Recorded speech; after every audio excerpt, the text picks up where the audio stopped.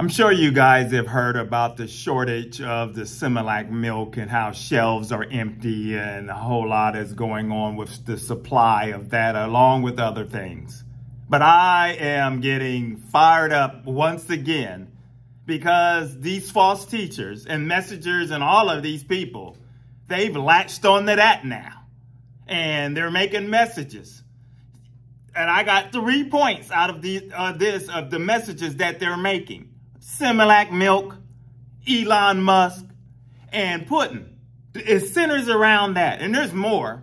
But I was just thinking, like, if somebody that calls themselves a pastor, calls themselves a prophet, calls themselves a messenger of God, or whatever you want to call it, and they're in a pulpit or making supposedly godly messages, and they center it around some type of conspiracy theory of Similac milk, conspiracy theory with Putin, conspiracy with uh, or, uh, the praise of Putin and the praise of Elon Musk, a guy that the guy that's not even uh, uh, an atheist basically, and Putin, which is a dictator, tyrant, and an evil man, and put conspiracies and mix that in.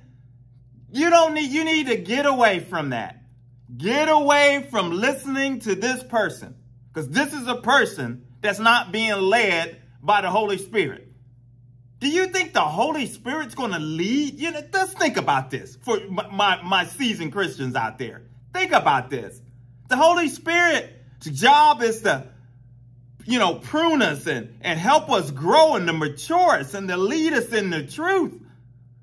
But somehow these false teachers and messengers out there, they're, you know, you one uh, uh, a giveaway where they're showing you that they're not being led by the Spirit of God is they're led off to worldly things.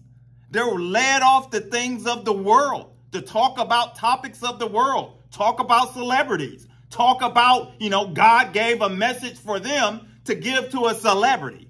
Come on. And all of this stuff. Stuff like that. And now it's the conspiracy that somehow the government's behind deliberately making sure that there's no milk for the babies.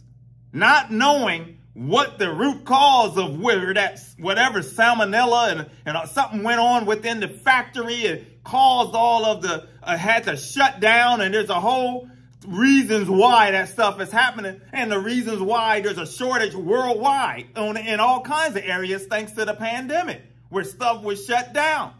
But why does it have to be some type of, the, the government is up to this. They're doing this. Uh, I hear people on some of these uh, uh, channels, when I see the comments, they call it the plandemic and, and all of this little stuff. That there's an evil plan you know, Hillary is behind this. Obama's behind that. It's, it's the current administration and all of this wild, wacky stuff.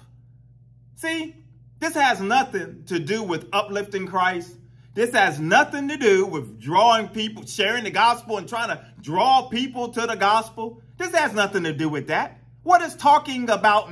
You're supposed to be a Christian, a, a, a Christian messenger for God, a pastor, preacher, uh, prophet, prophetess, whatever, and you're sitting there making messages about Similac Milk or Elon Musk. What is that? How is that going to do any good to somebody that's trying to figure out do they want to live or do they want to die because they're suicidal? Or do, what are they going to do with, you know, they hear about God supplying their needs and, and they're struggling and, and, and wondering, are they going to make it? and, and, wondering if anyone's going to love me because I'm a foster child or, or I've been abandoned and all of this stuff. How is, you see what I mean? That's not sharing the gospel and the love of Christ and the message of salvation and redemption. What they're doing is they're on a whole nother agenda, these people. And we need to make sure if you're listening to them, you need to steer clear of this kind of stuff because these are not messengers of, for God. Like I said, they don't speak for God. They represent somebody else. And we know what I always say it. It's Satan and the one we punch right in between the chops on this channel and expose him and his devices and talk about issues the church run away from. My name's Maurice Braxton. Evangelism for God is the channel. If you're new, consider subscribing, hit like, coming along for the journey, because we're going to continue to give God glory on this channel and call out anybody that's off, that's running away with crazy talk, off running away with false teachings and thinking that they're going to get away with it, you know what? You're not getting away with it on here. We're going to call you out. So until the next time, then to give God all the glory in the process. Till the next time, take care. God bless.